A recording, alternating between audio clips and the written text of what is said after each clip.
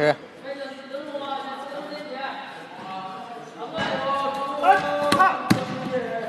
是。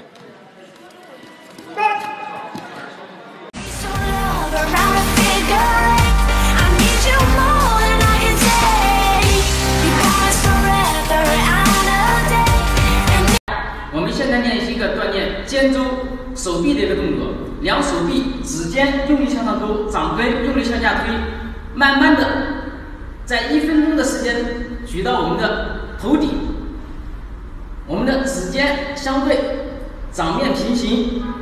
手臂尽量的放到耳后，坚持一分钟，然后用力向掌根用力向外推，在一分钟的时间完成，放到我们的身体两侧。